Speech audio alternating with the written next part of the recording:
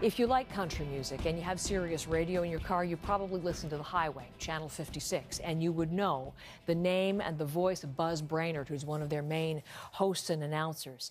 He'd just been on stage moments before those shots rang out, and he's on the phone with me from Vegas. Buzz, Buzz can you hear me? I can hear you, Heather. Well, good to have you on the program. Very good to know that you're okay after what's happened in Vegas last night. Uh, you witnessed it all, Buzz, so let, tell us your story. Um, we were in the um, artist area just off the stage. We just uh, finished up with um, Jake Owen, and then uh, Jason Aldean was on the stage. So we're we're with most of our crew and our friends, and and uh, uh, actually, it was probably the closest point to Mandalay Bay of the entire um, festival grounds. And um, we just heard this pop, pop, pop noise, and we thought, you know, being the, the last night of the show and the last, uh, you know, the last performer, we thought maybe it was fireworks. And the first series of pops went off, and uh, it, people looked, but nobody really did anything. And then it happened again, and uh, people got curious, and somebody said there was maybe a possible power line or something. So we did wander out of the tent and by that point, um, it was starting to become apparent what was going on. So everybody started to panic a little bit. And in that area, right next to the stage, we dove underneath the tour buses for the artists. So we're on the ground, and that's when um, some of the dirt started kicking up around us because you could, you know, bullets were being fired there. So uh, we stayed there for a while.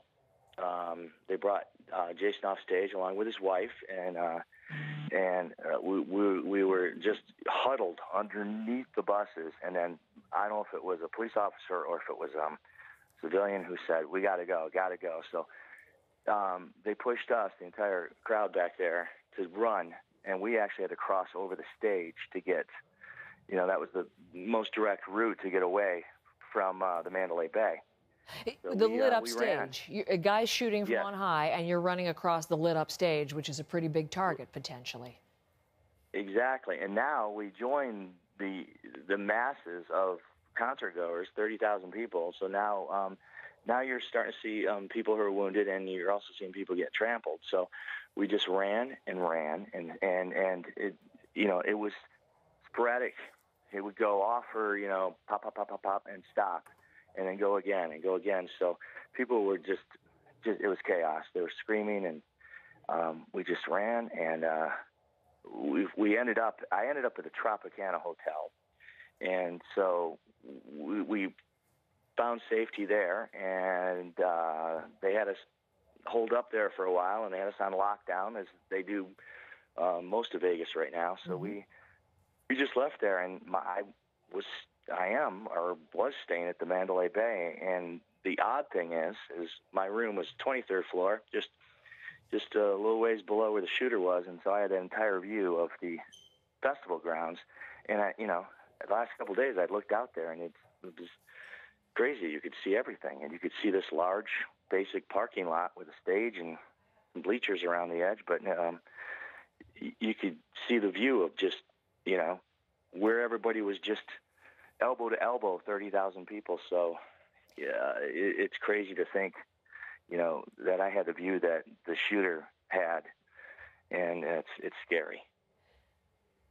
Absolutely scary to hear it, chilling to hear it as you lived it. I'm thinking of you underneath the tour buses and the dirt, as you described so uh, incredibly, being kicked up as the as the bullets rained down uh, and then running to safety. You, you mentioned, Buzz, that you saw people being trampled, people being who were wounded. Did you actually see people who had been hit? Yeah, um, it, you know, we were running as quick as we could, and I had my my my son uh, was visiting from Los Angeles, and 19 year old son. So I, you know, he he's 19, but still he's my boy, and I had his hand, and I was just pulling him. We were sprinting, so you know, y- y- there were people, you know, like I said, some had been just knocked over, laying on the ground. Some were having a hard time, and and you did, you know, we saw people who had been been hit, and uh, I don't know how badly at the point because we were just just trying to find safety.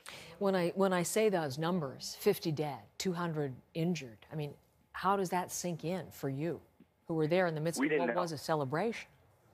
We knew nothing. I mean, there was no information. We we ran and we got to the hotel, and then. Uh, you're you're all of a sudden in a hotel with a, bunch of strangers and people are trying to find things on the internet and, and nobody really knew what had happened and you know uh, the first numbers we heard were two dead and and uh, you know, and uh, we just didn't know. Nobody, we had no information. So um, it's just so sad because I was on a stage um, not long before that, and I looked out, and, and it, there were so many people there. All you saw was a sea of people. I could not see the end of the crowd.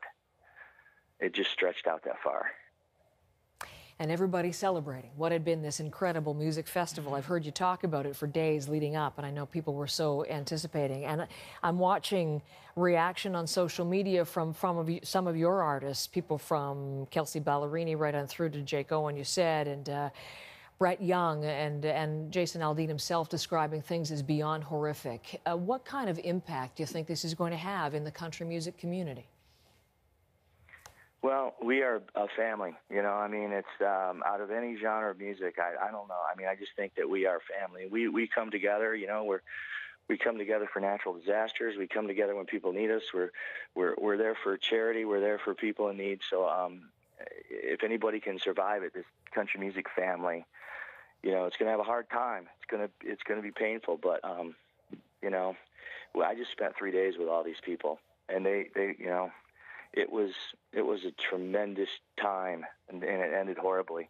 But I, I know this family will get through it. Buzz Brainard, thank you very much for the time, uh, and very glad to be able to speak to you. Glad that you were able to to get to safety with your son and your friends, and thank you for sharing your story with us this morning.